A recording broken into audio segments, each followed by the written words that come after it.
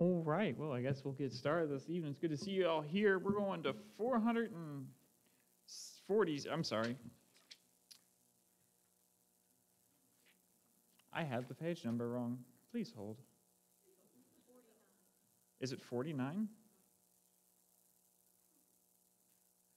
477. Not 49. Being led astray here. 477 in your hymn books at Calvary. You see y'all here at Anchor Baptist Church, 477. Years I spent in vanity and pride. Hopefully that changed when you got saved. 477 at Calvary.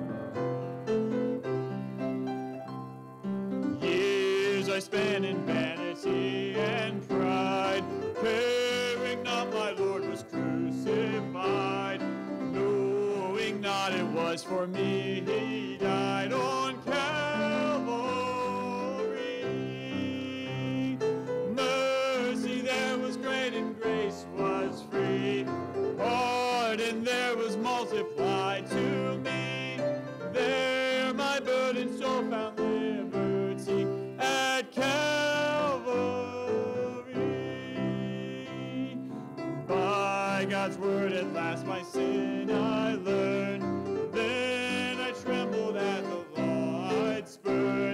spurned. Till my guilty soul imploring turned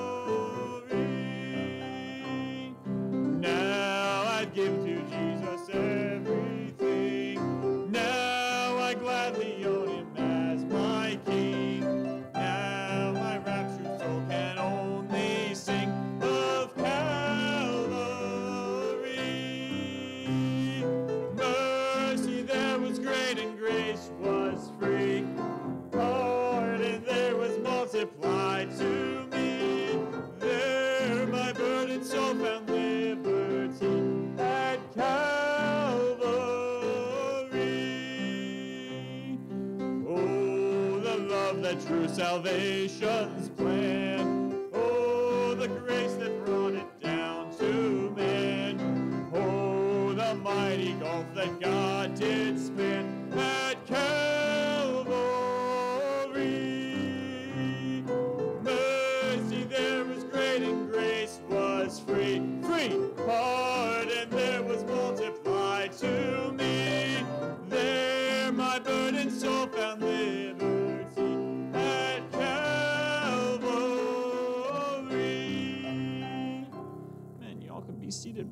seated. Brother Hanson.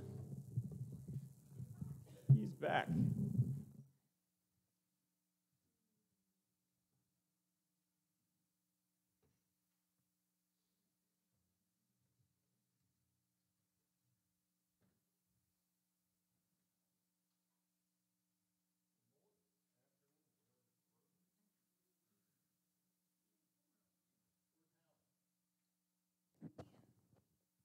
Oh, man. That's my favorite place. Yeah, some more of that Don's um, sausage. Okay. First Sunday of each month, door hanging. We need someone in that ministry. I'm not able to do that anymore. And the first Sunday of the month is going to be Debt Reduction Sunday. Um, we actually started this when we moved in the building here in an attempt to uh, reduce our mortgage, and now faced with the um, uncertain climate of the monetary system that we have now, we could be paying an extra two or three thousand dollars a month, and not not very hard to do that. Uh, second Sunday of the month is nursing home.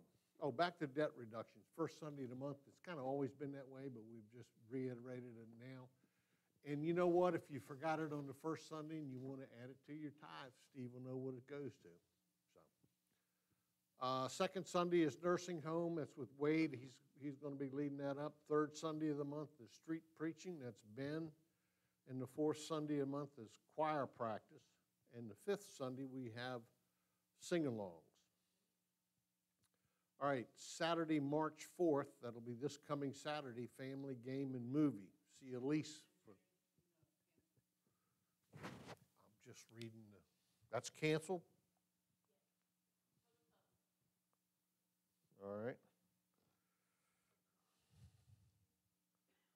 All right, March 12th is nursing home and play practice, as we've talked about. Uh, that's it. We were, uh, in 1987, I was going, no, 1990, I was going to Calvary Road Baptist Church, and there was a guy that I met there who was, who was the um, uh, building grounds guy. He fixed stuff, and he was in recovery. He got saved, and he was in recovery. And he went through Jerry Falwell's course, because that's a Jerry Falwell church. But anyway, he's, down in um, North Carolina. Chris and I drove 80 miles. I hadn't seen George in 10 years. He now has a little church. It's a storefront. That's my kind of stuff, but when he walked in there, it was like a bar. Lights were dark, music was loud, and the preacher standing up there in tennis shoes. And he didn't preach kind of stuff we're used to hearing. I'm, I'm just saying that because you know, like when we're doing wrong, we know we're doing wrong. But when I'm in the wrong place, I knew I was in the wrong place. So it's just, um, place is called Point Church, and um, they're struggling. I think if they got on the book, they would be all right. But anyway. Uh, salvation. Anybody witnessed anybody? Yes, ma'am.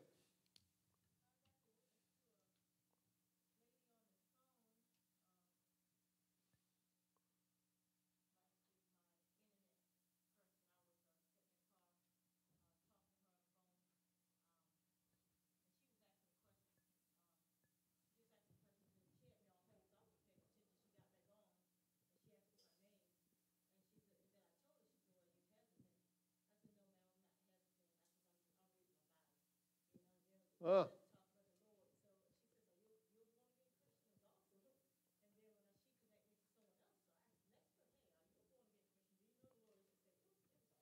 That's the biggest source of practice material you'll ever come across.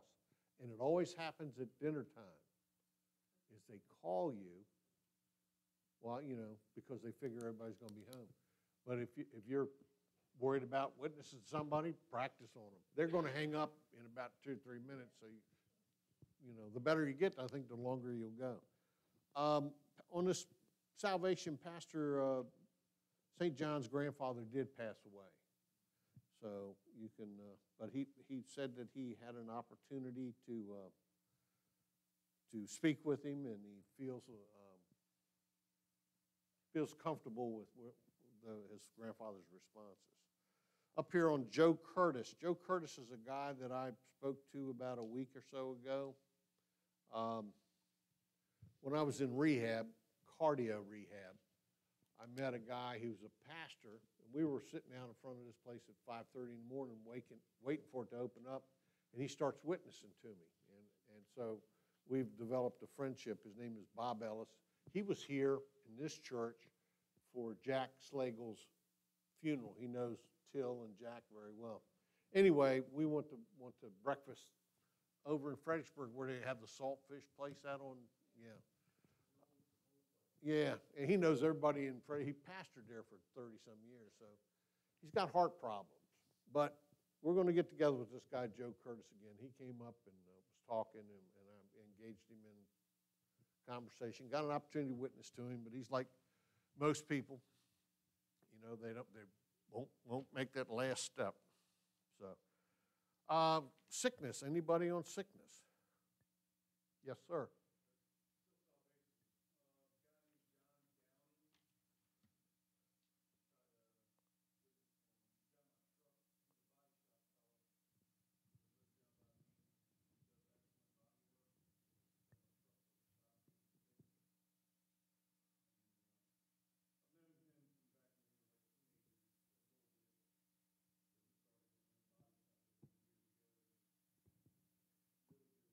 All right, did you witness to him?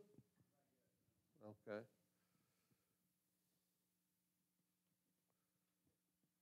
Um, Having been in the Automobile Association, that's a, that's a a rough, rough trade. Yes, ma'am.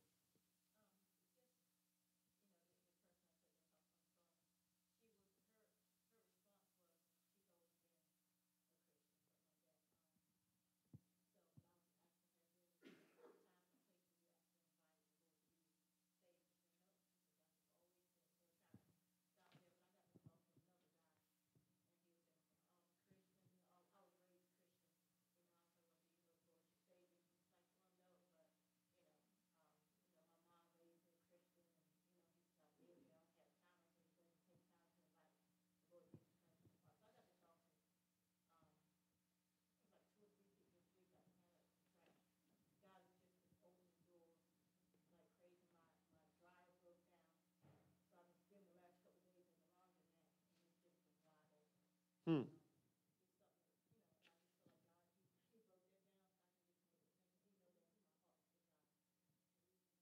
There you go. Good deal. Yes, Mickey.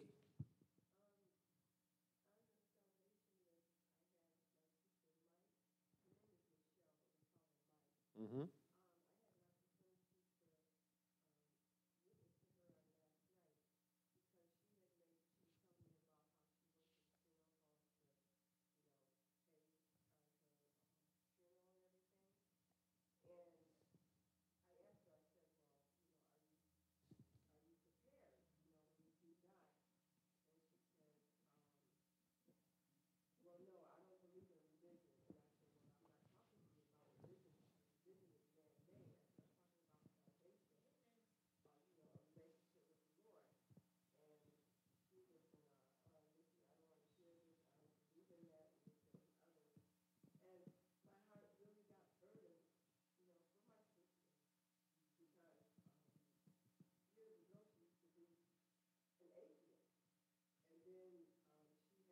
Well, she still is, if that's what she told you.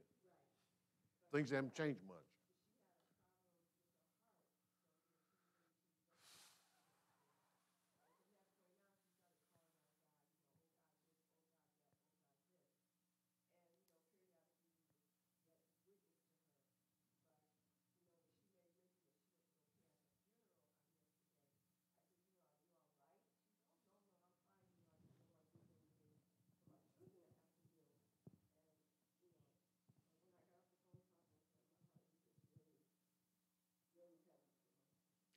And, her last name is?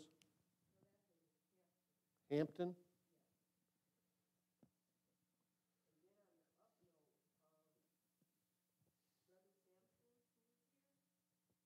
Samson Ryman? Okay.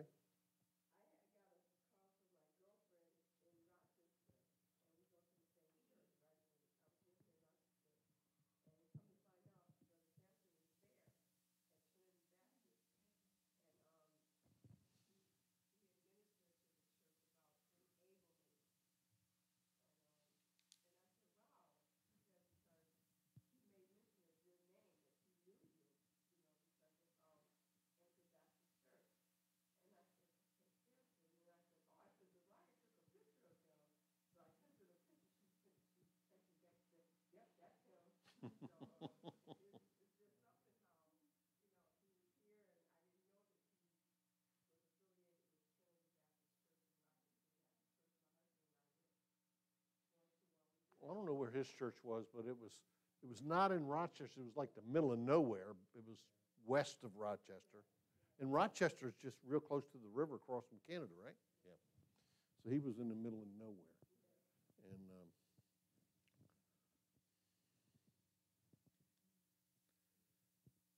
I was thinking of something that your, I heard, I can't remember what your dad said. I was thinking of Buck when I listened too long on her thing. I was going to mention something, but fleeting thought. Okay, we done with salvation? Okay, journey of a thousand miles begins with the first step. If you don't ask them, they ain't coming. All right, sickness. Where's Betty? Is she on her way back? She- Okay.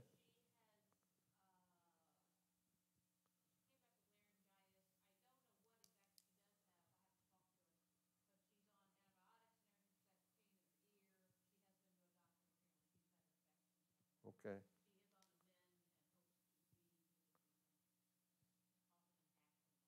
All right. Um, right here, we've got Aaron, Julie's brother, on dialysis. George Day, stroke. Is that correct?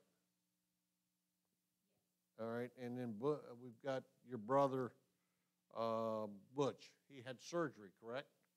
And now he's, he's got dementia issues. Is, is that the same brother? Donnie? Oh, I am sorry. Your, what's your brother's name? We were praying for him.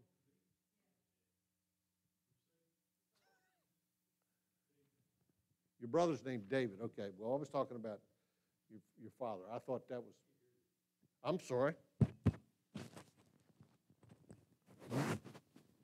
Sound man, turn this up, somebody might hear. I'm sorry that you couldn't hear me. I was, I thought this was your brother, Dave, not Butch is your dad. I apologize. Okay. Um, Anybody else for sickness? Yes, ma'am. His tooth?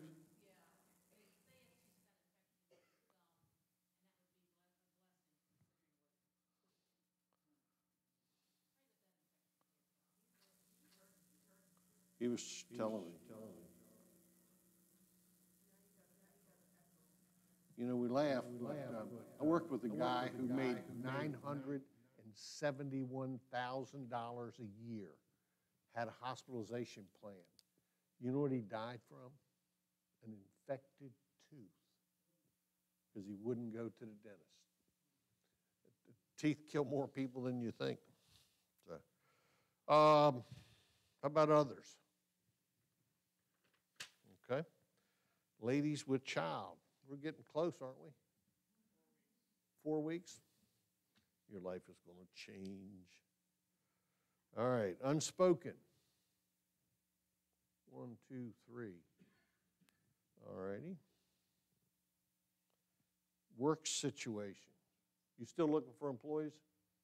Join the rest of the world. You need to put up a sign. This guy filled his roster. It's a pizza place. Stupid people need not apply. Got, got enough people? So, um, on the road, Howard's now in Louisiana eating the gumbo.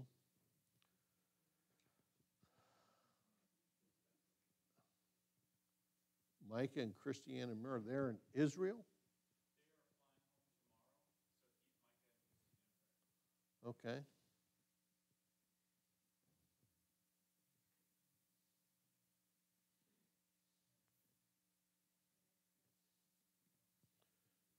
All right. Yes, sir.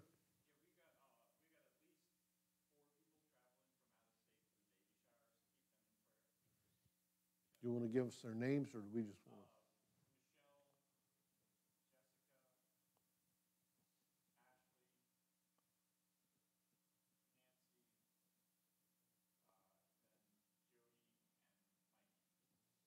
to? Yogi? Jody. And Mikey.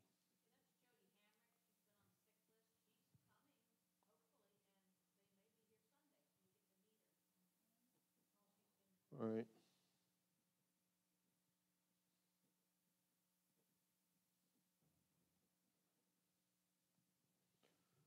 All righty. Anybody have anything else? Hey, brother. Yes, ma'am.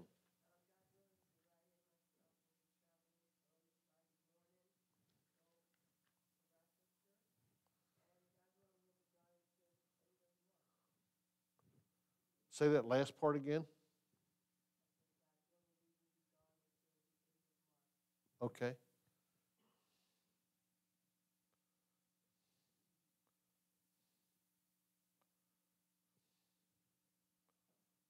All righty. Okay. Remember the upcoming events? Um, Jason, will you pray over the prayer list and pray for the pastor's message?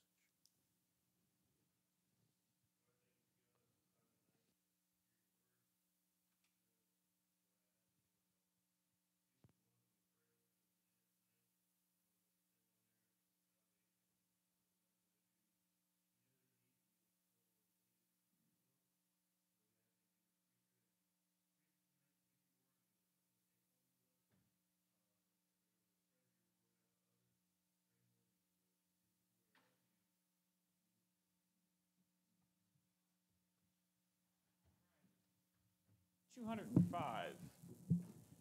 205 New hymnals this evening, once for all. 205, free from the law, oh happy condition. And boy, that is a happy condition to be free from the law. You get through Exodus, Leviticus, Numbers, and Deuteronomy in your Bible reading. It is nice to not be under the law. 205, once for all.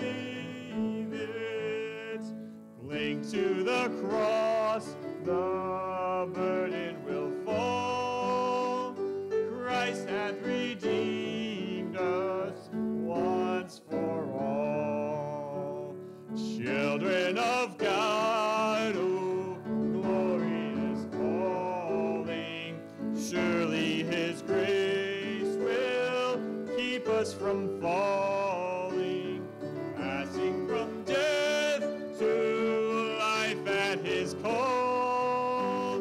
Blessed salvation.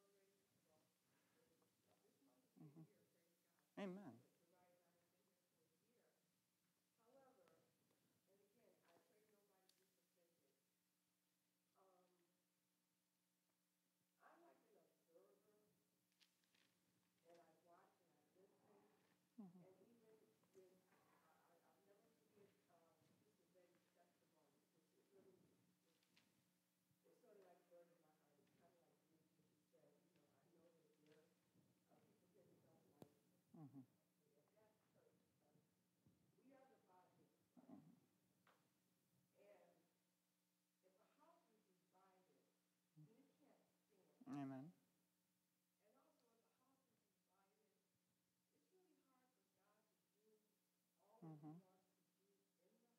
Amen.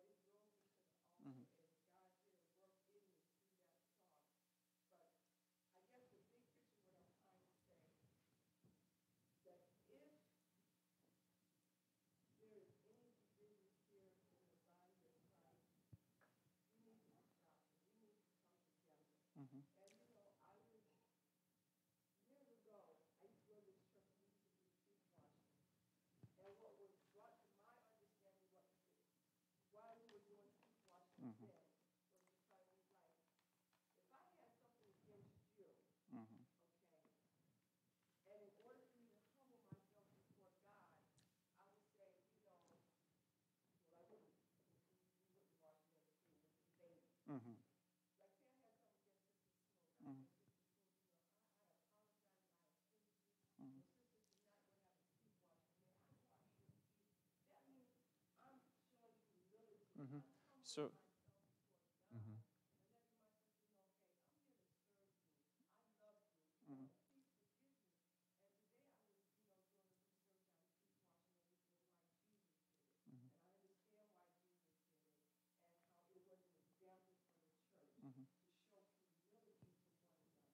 So, sister, this is actually what I'm preaching on tonight. So we're going to kick right off into that. but yes, um, I, Christians, Christians, we are family. And family, I, somebody told me this one time family fights, but you're family. And at the end of the day, blood is thicker than water. And there, uh, I was listening to somebody preach the other day. He said, Man, you get into the South, and family is king. Family runs churches, family runs governments, family runs businesses, family runs everything.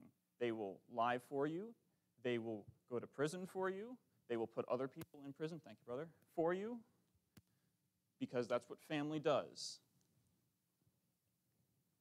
We are related more closely through Jesus Christ than they are through birth. So, if you've got something, scripturally, you ought to get it fixed. 1 Corinthians chapter 1, this evening.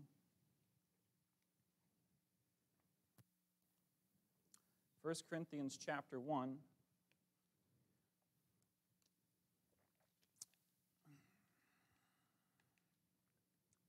Down in verse 26. There is there was a, a great basketball coach, and I don't have his name. Uh, but he was a college basketball coach, and he had a lot of championship belt, uh, championships under his belt. He was known for getting his team into the Final Four. And they asked him, they said, What do you do? How do you, how do you do so well consistently? One hit wonders happen, but consistency isn't an accident. It's never an accident. How does that happen? And he said, Every year, when I get a new team in, and I get new kids in, I start with the basics. I teach them how to tie their shoes. Now, everybody knows how to tie their shoes. Everybody in this room, I'm pretty sure, knows how to tie their shoes. But he said that if you tie your shoes wrong in a basketball game and you run on your shoes wrong and you mess your ankles up and you give yourself a blister, you're going to be out your blister heals because you can't run right. He says, So I start every team every year with the basics. So 1 Corinthians chapter 1, look down in verse 26. For ye see, we see your calling, brethren, how that not many mighty, how, mm, I'm going to start off wrong already. Verse 26, For ye see your calling, brethren, how that not many wise men after the flesh, not many mighty, not many noble are called. But God hath chosen the foolish things of the world to confound the wise. And God hath chosen the weak things of the world to confound the things which are mighty. And the base things of the world and the things which are despised hath God chosen, yea, the things which are not, to bring to naught the things that are, that no flesh should glory in his presence. But if him are ye in Christ Jesus, who of God is made unto us wisdom and righteousness and sanctification and redemption, that according as it is written, He that glorieth, let him glory in the Lord. A little bit of backstory when Paul writes 1 Corinthians, he goes to the church at Corinth, he is coming hot out of Athens. Now, if you know the book of Acts, when Paul comes out of Athens, he's going to the marketplace and he's debating. He's going to the marketplace and he's debating. And he's going to the marketplace and he's debating. And if you know your history, you know that all of these great Greek philosophers come out of Athens. And you've got Plato and Socrates and all of those people, they're all just a mess. And it says about the people in Athens, they want nothing better than to say or to tell some new thing. What's going on? I've got to find out what's going on to be the first person to tell everybody else what's going on. And Paul, when he leaves Athens, doesn't leave behind a really big, mighty work with a bunch of people in it.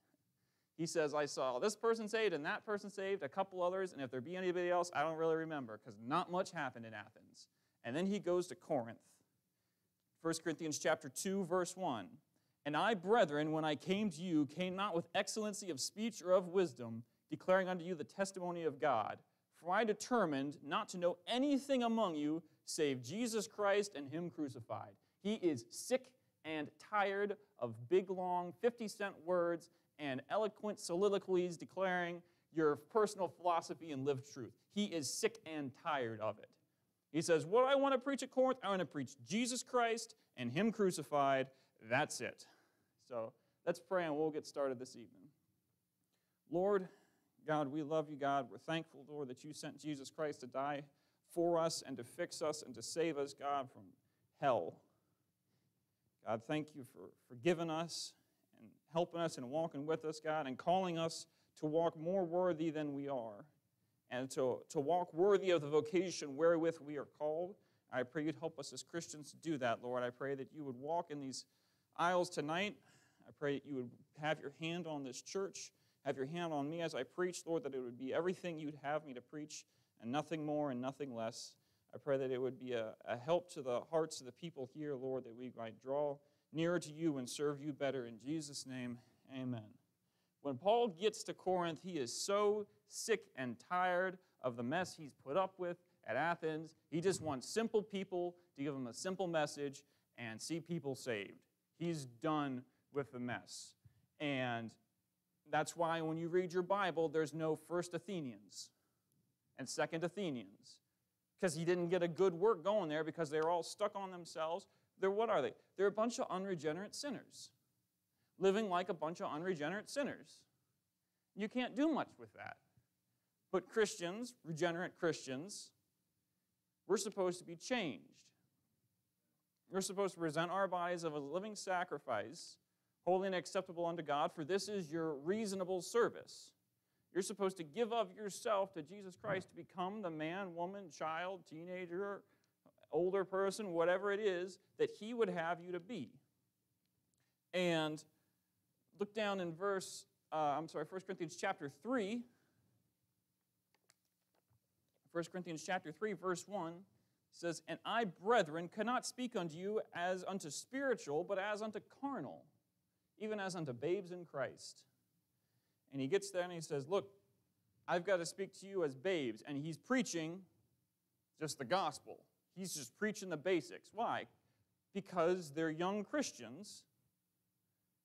But keep reading, I have fed you with milk and not with meat, for hitherto ye were not able to bear it, neither now, neither yet now are ye able. Everybody likes the meat in the body of Christ. You want to get into gap. You want to get into uh, Calvinism versus Arminianism. You want to get into uh, three and a half year trib, seven year trib. Uh, mid year trib, uh, where's your, where are your three raptures? Yes, good stuff. You should know it. It's good for you. But it's not good for you until you mature. There are actually no great preachers that I agree with on every point. I was at uh, Pastor Black's, uh, Pastor David Black's church Sunday night, listened to Brother St. John preach. I have had several lengthy, in-depth conversations with Brother St. John about doctrines that we disagree on. There's at least three. what are they? They're the finer meats of the Christian walk.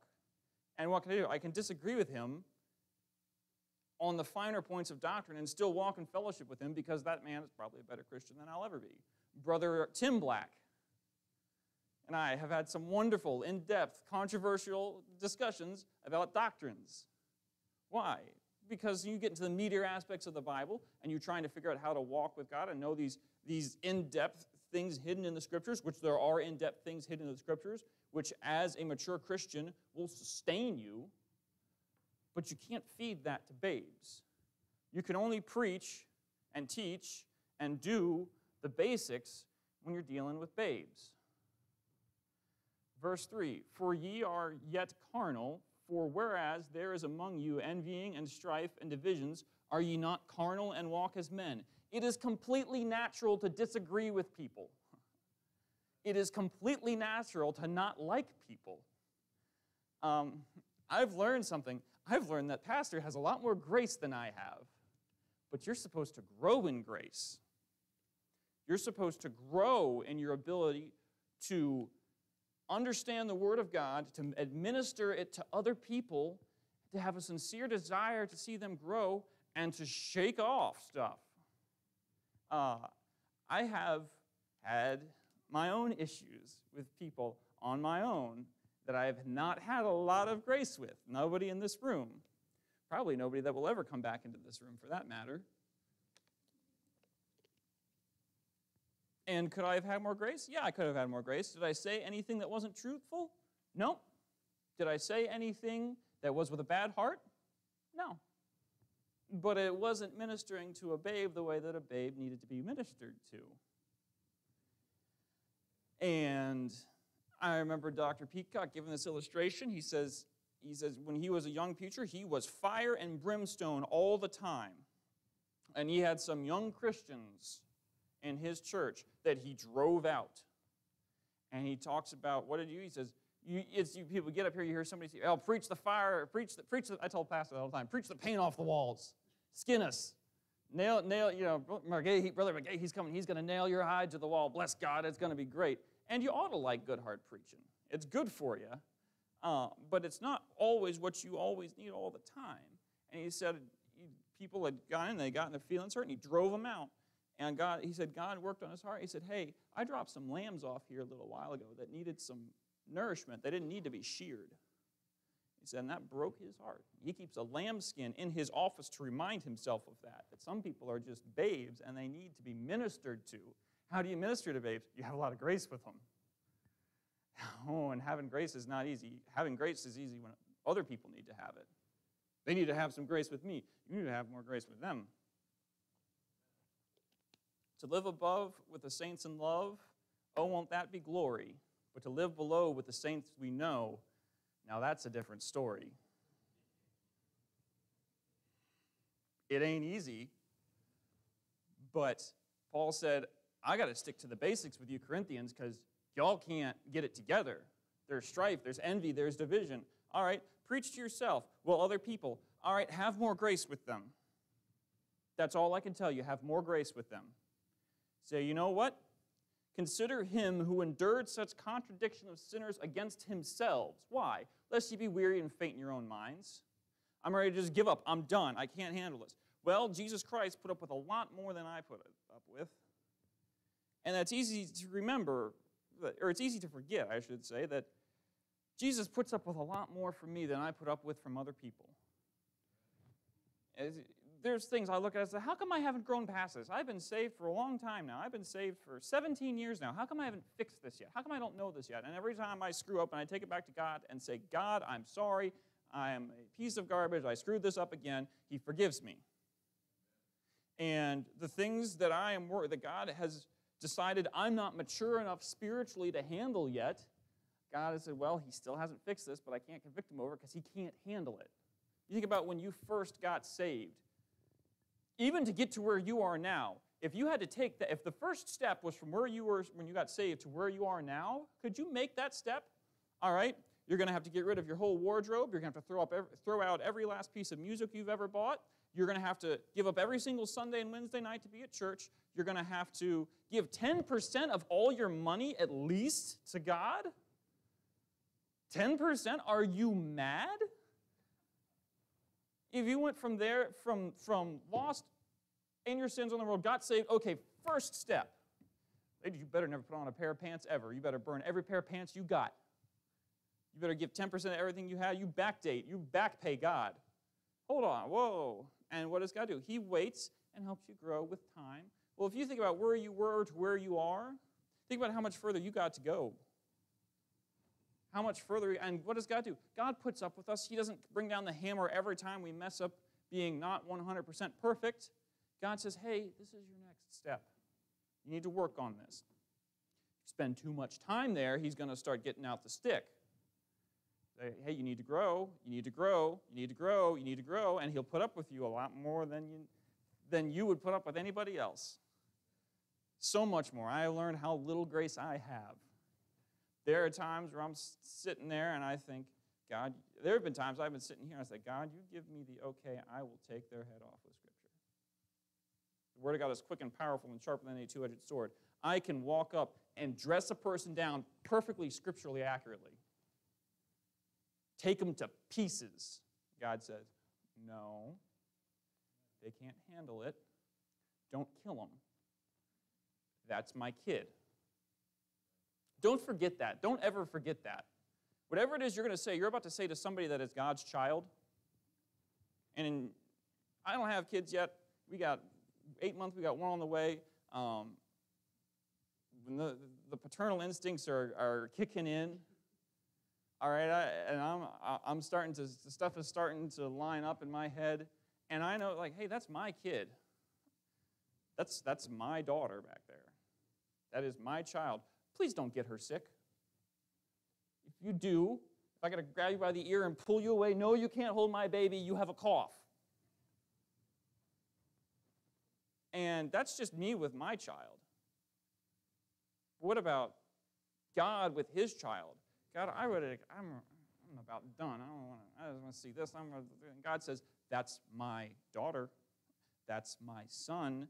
Be careful. Do they need help? Yes, they need help okay, if you see that they need help, Christian, and you're strong enough to help them, you ought to be helping them, not grinding them into the dirt. Basics, basics, basics. Job 23. Job chapter 23. I've said this before, you will never beat the basics of Christianity. You will never get to the point where you don't have to do these certain things right. There are things you must always do as a Christian.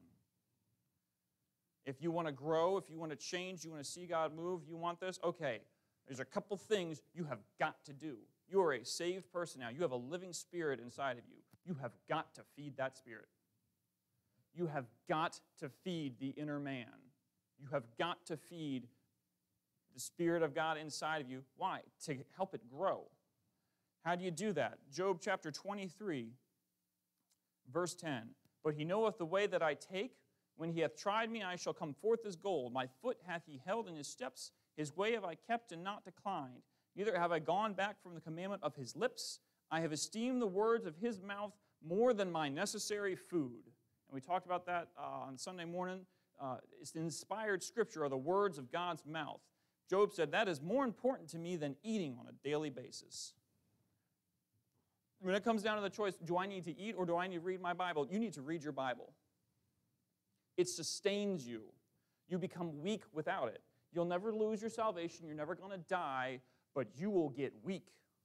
And there have been times I've missed Bible reading two, three, four days in a row, and boy, that starts to wear. And you realize it, and you say, you know what? Why am I? I'm in a bad mood and I'm wicked right now because I haven't read my Bible. Okay, I need to go read my Bible, and then we can talk, and then I'll be nice to you. You know, think, oh, ask the people around you. I, man, you learn things when you get married. You learn what you're like to live with. You learn what you're like to live with. And you learn that when you get backslid, your spouse can tell. They know. And you say, we, are, we are all wonderful in our own minds, but you say, you know what? Have I been, have I been short recently? Have I been in a bad mood? Have I been mean? Hey, is something wrong? And they say, yeah. And you say, I know what that's coming from. Why? I haven't eaten. You're spiritually hangry. I didn't think I was going to use that phrase tonight, but you're spiritually hangry. You haven't eaten. Sometimes you just say, I just need to go eat. I just need to get my nose in this Bible and get sustained. Why? Because you get spiritually hungry, you get a bad spirit, and you start taking that bad spirit out on other people. Go to Deuteronomy chapter 8.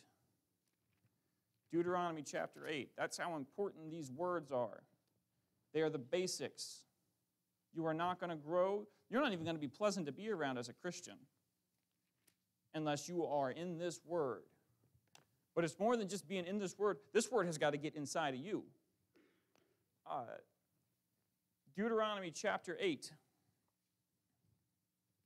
verse 3 And he humbled thee, and suffered thee to hunger, and fed thee with manna which thou knewest not, neither did thy fathers know, that he might make thee know that man doth not live by bread only, but by every word that proceedeth out of the mouth of the Lord doth man live.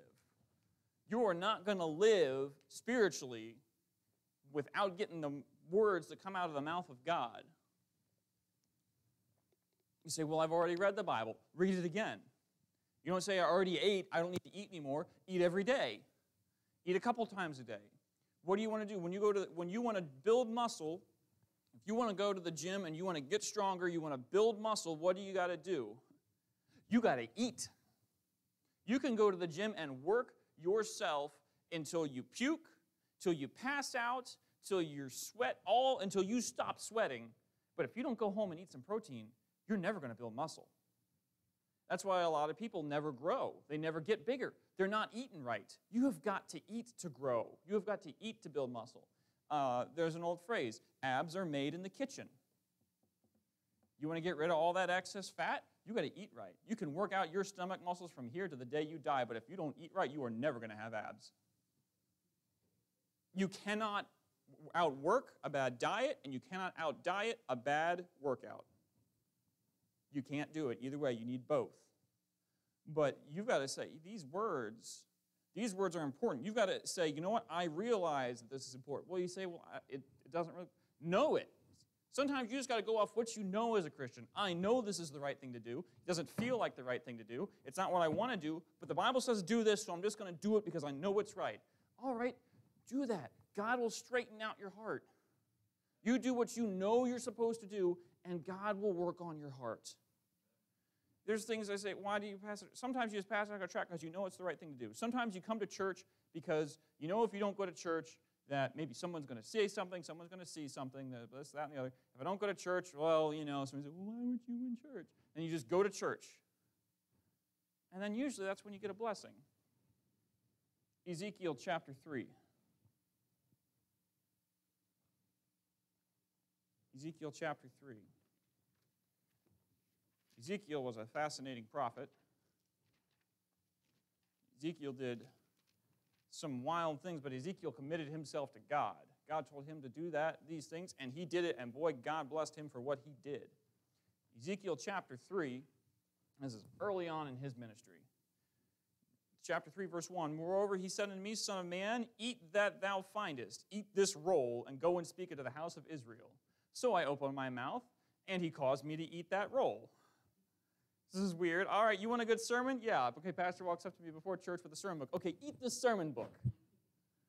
And start chewing on it. Verse 3 And he said unto me, Son of man, cause thy belly to eat and fill thy bowels with this roll that I will give thee. Then did I eat it, and it was in my mouth as honey for sweetness. That roll comes in type as the Word of God. You have got to put that Word into you and got to put it into your bowels. You don't just chew it up and spit it out. You don't just read your nice little morning devotion and move on with your life. You don't just look at the pictures of the mountains behind the verse. Okay, I, I have a, I put uh, a Bible verse in front of some mountains on my Instagram feed. I'm spiritual for today. No. That's not how it works. What do you do? You take those words and you put them inside of you. You read them. You can't put them inside of you without reading them. And then what? You digest them. You think about them. And when you read your Bible, it starts out sweet. And then down in 14, verse 14, so the Spirit lifted me up and took me away, and I went in bitterness and the heat of my spirit, but the hand of the Lord was strong upon me. He's got God's hand strong on him, but man, he's bitter. He said, Something inside me has made me not feel good. Go to Revelation chapter 10. He says, Man, I ate that and it, ooh, man, something, something didn't set right. You've put that book inside of you, it won't sit right all the time. That book will tell you things that you have learned to not be true. Well, God, I saw this and that didn't happen. God, you say do it this way, but I did it this way and it didn't turn out right. God, you say we ought to be like this, but I think we ought to be like this. And God will say, Are you going to believe my words or are you not going to believe my words? Are you going to throw them up, throw them out, get rid of them, drop them in the trash can, take them out? To the curb, let them go, or are you going to keep them inside of you and let them make you bitter against yourself? John, I'm sorry, Revelation chapter 10, verse 9. And I went unto the angel and said unto him, Give me a, uh, the little book. And he said to me, Take it and eat it up, and it shall make thy belly bitter, but it shall be in thy mouth sweet as honey. And I took the little book out of the angel's hand and ate it up, and it was in my mouth as sweet as honey. And as soon as I had eaten it, my belly was bitter. He puts those words inside, and when they make him bitter and they make him realize the kind of man that he is, the kind of world that he's living in, verse 11, and he said to me, Thou must prophesy again before many peoples and nations and tongues and kings. He says, All right, now that you've dealt with that bitterness, you've dealt with that, man, I am an unclean man. What am I? Good night. God can even use me? God, eh, you don't know how many times I've gotten out of this pulpit and said, God, I don't know how you did anything with that, but thank you if anything gets done. I'm a mess. I always have been a mess. You can put a suit on me, I'm still a mess. I look at me and how I am and uh, just, what? How does God do anything with this? But He does. I thank God that He does. But what does He do? The only the time that God gets anything done is when I minister out of this word, because I wouldn't be the man I am without this. I was uh, talking to a guy and we were joking back and forth about it. About he went out to get his wife some coffee, and his wife said, "Don't do that. It's too much work. It's too much effort. I don't want you to have to go out and get coffee for me. Don't do it. It's no. Don't do it." And he had already bought the coffee. No, don't get me coffee. He says, Well, I want to get you. No, don't get me coffee. I don't want you to get me coffee. Don't, don't. No, just don't do it. it's, it's fine. I'm fine. I'm fine. Get your wife coffee. He comes home, she's not home. He puts the coffee on the counter, he sends her a text, and he says, Hey, you know, I didn't get you coffee, but the Lord provided, and I just delivered it. Is that lying?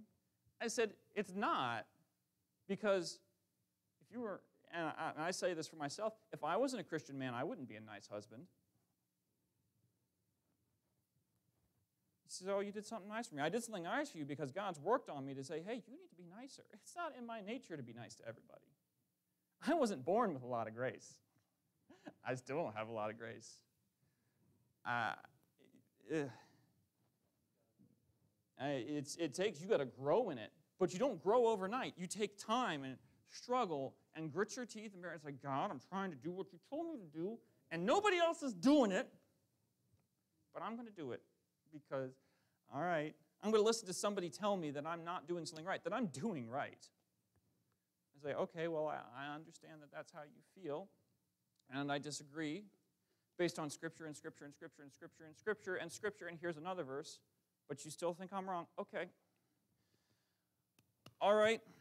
Well, I'll pray for you because I'm not getting through your thick head. You don't think, oh, yeah. That's me. That's, that's Ben. That's, that's the flesh. What is it? It's just what that word gets in you makes you bitter. And you're like, God, I need to be different. I'm trying to be different. Help me to be different. But you can't do that without this word. You can't do that without putting it in you every day and living off of it and chewing it and digesting it. Psalms 119, go to Psalms 119. And I'm, I'm in a hurry. Psalms 119.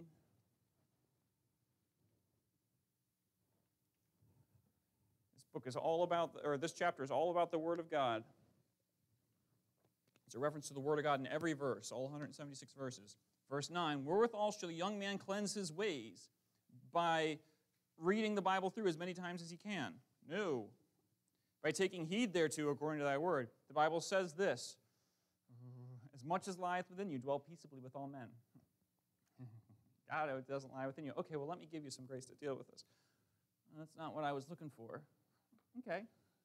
Verse 10 With my whole heart have I sought thee. O let me not wander from thy commandments. Thy word have I hid in my heart that I might not sin against thee. You've got to put it in there and get it to stick. You've got to memorize it. You've got to be able to pull those verses up from memory and say, well, the Bible says this, so I shouldn't do that.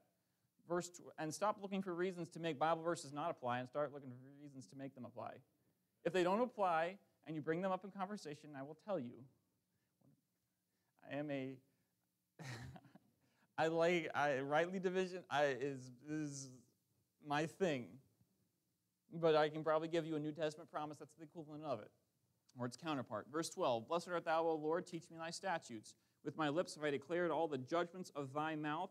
I have rejoiced in the way of thy testimonies as much as in, uh, as much as in all riches. I will meditate in thy precepts and have respect unto thy ways. It's not just memorizing, it's understanding it and thinking about it and letting it work on you.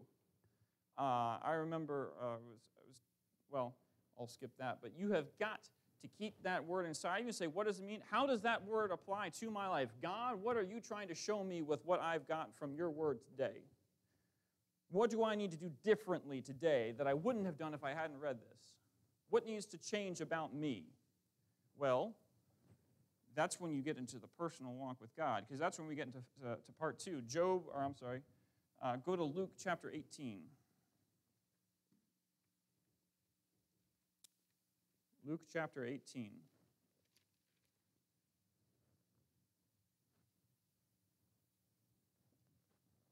Luke chapter 18, verse 1. Jesus Christ is talking. And he spake a parable unto them to this end, that men ought always to pray and not to faint. And always to pray. Always to pray. You ought to be instant, in season, out of season when it comes to praying. Uh, those emails come through, the texts come through. I get texts from people all the time. Hey, just found out so and so is sick in the hospital. Hey, just found out so and so is this. What do you got to do? You got to get a hold of God on your own. If you can't get a hold of God on your own, then you're not doing them much good. I mean, and we all know if something happened and your husband, wife, child, parent was in the hospital, you know who you'd text to pray because you know who would pray and you know who's got a hold on God. Uh, Contrawise, I've talked about this several times, when David's son tries to stage a coup of the kingdom and put himself in instead of Solomon, he knows who to call to be sympathetic to his cause. He knows who will come with him to go against the king. So some of y'all are on lists of, I got some juicy gossip, I know who I'm going to tell. And some of you all are on lists of, somebody's in trouble, I need to know that that person's going to pray. That's between you and God. But you ought always to pray and not to faint. And boy, have I, I'll preach at myself with this. ye have not because ye ask not. Ye have not because ye ask not. Let's just, just on that little thought, that little thought. Well, this is a, have you prayed about it? Well, I don't like this. Have you prayed about it? Has this person, well, I don't like that this is going on. Have you prayed about it? Have you prayed for it? Have you prayed for it? Anything that, listen, being discontented is natural, it happens. Life isn't always perfect all the time. Okay, I'm not happy with this. Well, then pray for that. Pray for the person. Pray for the situation. Pray for everybody. You don't know how many times I've had something happen and I go home and I just pray for it all week long. God, this is going Oh, be awful. I know this is going to happen, and this is going to happen, and they're going to hate me, and this is going to be the worst. And then I get to church that Sunday, and I go to deal with it, and it's fine. You know how many times it happens? Why? Well, first off, if something happens, you don't deal with it in the heat of the moment. You go home and you pray, and you pray, and you pray about everything, everyone, every part of the situation you can think of. And you ask God to just, God, fix them, please. They're this, that. And then God goes, let's talk about you. Before we try and fix them, yeah, they need fixing. They need fixing. Yes, we'll, we'll get to them in a minute. We're going to put them over here, and we're going to talk about you. That's where the bitterness comes in. That's where those verses start popping in your mind, and you go, mm, every word that idle, uh, every idle word that man shall speak, the same shall he give account of in the day of judgment. There are some idle words. Well, well, in the multitude of words there wanteth not sin. Yeah, I, I guess, I guess I. But they have. I'm not. You're not praying for that. You're praying for you. There is one God and one mediator between God and man, the man Christ Jesus. That means that any issue you got, you take to God. If I have a problem, I don't take it to somebody else to take to God. I don't take, expect them to take something to me to take to God. You take it to God, okay? Well, I got, I got to pray. I got to pray. to the Pastor, Pastor got to get his heart right, and that, that's, that's the only way. He's, no, you pray for you. Pray for you. You learn how to deal with you. You learn, hey, I have a shortcoming here. I always have, and I always will. So when we get to this part, I'm sorry. I'm going to struggle. That's confessing your faults one to another. that's confessing your faults, saying, hey, I can't deal with that. I'm sorry. I'm not, I'm, I'm not the right person for this job because I'm just, God didn't make me this way. God hasn't given me a gift to be like this. I, I'll be honest, I've prayed about taking over door knocking. I would love to do it. God won't let me do it. He won't let me do it. We got a vacancy. Somebody's got to fill it. I can put my hand on the Bible and say, I know to God that it's not me. He didn't put me in that gap. God said, I saw for me the end of the gap and I found none. I'm already in enough gaps and I'm not filling them the way that I should. Uh, 1 Thessalonians chapter 5. Y'all know where I'm going with this. 1 Thessalonians chapter 5. Stick with the basics. Get in that Bible. Get that Bible into you. Let that Bible work on you. Let that Bible change you on a daily basis. Let it be your meat. Let it be your bread. Let it be your honey. Let it be everything that you need. Put that word above everything else. 1 Thessalonians chapter 5, verse 17. Pray without ceasing. We all know that verse. We all know it. Boy, do we fall short on that. That doesn't mean you stay on your knees 24 hours a day. That means something comes to mind, you pray for it. You start thinking, let's talk about evil surmisings. what's, the, what's an evil surmising? That's a, that's a, Bible, that's a biblical sin. Biblical, evil surmisings is where I know what's going to happen. I know exactly what's going to happen. They're going to come to church, and I'm going to sit down, and they're not going to sit next to me. And they're going to go sit next to somebody else. And when they sit next to somebody else, they're going to tell somebody else what they, what they know about me. I know it. I know them. That's all they do. All they do all the time is they go into church and they sit down with other people and they tell them all this stuff about me. I know what it is. I know exactly what they're going to do. Evil surmising is when you assume another person is going to sin. And guilty is charged. You don't know how many times I've been punched in the face in my brain. Oh, yeah, I'm a, I'm a great martyr in my own head. We all are. Y'all, you your, I'm going to preach at this point. I, I, what is that? That's evil surmisings. And then God goes, hey, have you prayed for them?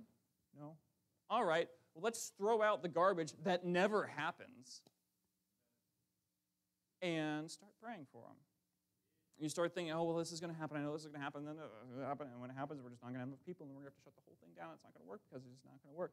Um, what was it? John Wesley said, worry is a mild form of atheism. You believe that God is not able to sustain the situation, or you believe that God does not want, or God wants a different outcome. Well, I, want, I, I thought God was supposed to do this. I preached on that frustration. Well, I was going to do this, and then God was going to do this. That's not necessarily how God works. Elijah, yeah, you preached the best message that could possibly be preached. You did the greatest sign in front of the most people, and no one got right. That's not your fault. You let me work. You let me do my thing, okay? You get out of the way and let me do my thing. But God, they should have repented. I'm not any better than my fathers. No, you're much better than your fathers, actually. You're one of the greatest prophets in the entire Bible. Top two, Moses and Elijah. Top two. That's who he calls back in during the tribulation Moses and Elijah. And Elijah thinks what? He thinks he's the worst prophet that's walked on the face of the planet.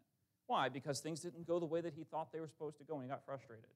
It's not always going to go the way that you think you sh- it should go. But, God, I did what I was supposed to do. It's in your hands. I'm going to pray and pray and pray and pray and pray. And if you choose, uh, the Blunkels sing a song, Lord, don't move that mountain, just give me strength to climb. For if you should move each mountain, I might grow weaker every climb. If you don't ever stress your faith, your faith is never going to grow. You don't ever stretch your grace, your grace is never going to grow. You don't ever stretch your walk with God, your walk with God is never going to grow. You never put that in front of you, it'll never change you. You say, Well, I know the Bible says this, but all right, go ahead. God will let you go your way. He'll call you, He'll try and pull you back. He loves you, He cares about you, but He's not going to force you to do anything. Boy, have I learned that. God has not forced you to do anything. I can't force anybody else to do anything. What can I do? I can say, Thus saith the Scriptures, and that's it. I can tell you, this is what the Word of God says about it, and that's it. I can pray for y'all, and that's it. I can read my Bible and try and live it as best I can. I've run into situations where I don't know what to do. And I've got to run all the references on that to figure out what I should be doing scripturally and what I shouldn't be doing scripturally because I don't know. I don't have them all perfectly committed in my head to know exactly what I ought to do all the time. And really, truly knowing how to walk with God, and this is point three, I'm going to, I'm going to cut it short, but the third part of that is walking with God. You walk with God. You'll feed that relationship, you'll take that, those requests to God, and God will go with you wherever you go to witness how you ought to witness, to minister how you ought to minister, to serve how you ought to serve. You say, God, what do I want to do? And you do the best you can to not quench the Holy Spirit of God as you walk in your daily life. That is where real Christianity grows, is the walk. It's not in the I was I, we had a good service today. It's not in the well I went to visitation and this went well. It's not it's all right, we walked out of the church doors. Am I still walking with God? Because we're all good Christians in here. You don't know the mess that goes on with good Christians. I was talking to Pastor Davis, he's the pastor at Tabernacle Baptist Church. He says he's got a family in his church that they're the best and the worst Christians he's ever pastored at the same time. He caused me more trouble than anybody else, and they serve God more than anybody else. He's tried to throw him out of his church a couple times loves them to death, loves all of them to death. He says, but they're the best and they're the worst. There's why? Because there's no walk. There has to be a walk. You can't make it without a walk. Otherwise, you just end up blindly applying scriptures and standards to things and saying, I'm a good Christian because I do X, Y, and Z. No, you're a good Christian if you know God. Because we're in 2023, folks. There's not a lot of people standing outside offering sacrifices to idols. There's not a lot of people uh, marrying their father's wives. I haven't heard of that happen. Those are the examples given in the Bible. What does that mean? You've got to take that Bible and absorb it and know how does this Bible apply in 2023? Because boy, does it. Boy, does that Bible apply in 23. You start reading that, and you think somebody wrote it yesterday when you get into some of these portions talking about uh, 1 Timothy 5 is a good one for that. You start reading about how people are in the last times. You go, my goodness. You start reading about Laodicea uh, Revelation chapter 3. Yeah, that's true. And the more grounded you get in understanding how this world works and how that Bible works, you begin to see, man, this book is, is relevant, but it's not irrelevant on surface level. It's written in 1611, King's English. Fancy these thousand shouts in ways people don't talk anymore. You, that Bible doesn't help you unless you apply it. You can hammer it, you can hammer it on other people, you can do whatever you're going to do. But it doesn't help you unless it goes into your belly and, lets, and becomes bitter. And you go, Have mercy on me, O Lord. On me. It's me, it's me, it's me, O Lord, standing in the need of prayer. Man, those kids' songs are good. Not my mother, not my father, but it's me, O Lord, standing in the need of prayer.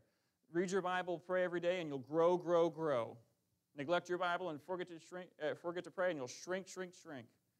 If it's doubtful, just don't do it. Man, those songs are good. Those songs will take you clear into adulthood, clear into spiritual maturity. But it's the basics. You've got to take the basics. You've got to live the basics. You've got to get down on your knees and pray for people, pray for situations, pray for things. I complained about there not being a lot of people in this church for a long time before I started praying about it. I don't know why. I mean, I wish it'd be nice if there were more people here. Man, it'd be nice if there were more people here. Oh, so and so's aren't coming anymore. They moved out. And, uh, and uh, God goes, How about you pray that more people start coming to church? Oh, oh, that'd be good. Maybe I should pray for that. Why? Because I'm complaining. For what? Take your complaint to God. David did that. He said, I'll pour out my complaint unto God. Complain to God. Don't complain to anybody else. All right? Chances are I already know. Chances are I already know. Chances are pastor already knows. Pray. Learn to pray. Learn to read that. Learn to not just, I, when I was a kid, and I, will close, but when I was a kid, we would have prayer time, and I had the same prayer I prayed probably for years. Lord, thank you for mom and dad and brother that love me, and thank you for cats and dogs and horses and donkeys and this and that. And, you know, I pray that Aunt Jean and Uncle Aunt Jean and Uncle Jim and Aunt Bobby and Uncle Arthur and Aunt Patsy and Aunt Sue and Uncle Billy would all get saved. That's not praying. That was a good start for a babe in Christ, but that ain't praying. It's God, please help someone. And spending time. Prayer is a labor. Prayer is work. Prayer is best done on your knees. You can pray anywhere, absolutely. Pray behind this pulpit while I'm preaching. But prayer is best done on your knees, alone, by yourself, without distraction, and say, Lord, help. And that flatters him. He loves that. You tell him, God, you can fix the situation. I'm going to have some faith. It, pray in faith, having faith that God will actually answer the prayer. You can pray all this, God, I pray to help this, but it ain't going to happen. Maybe, maybe it will. All right? If you don't have any faith, it's not going to happen. What? Basics. Pray, read your Bible, walk with God, and the rest will sort itself out. Let's pray. Lord, I've tried to do the best I can, God, to preach what you'd have me to preach, Lord. And I pray you'd bless your people. I pray you'd have your hand on your people, God. I pray you'd walk in these halls and help us as a church to know you, Lord.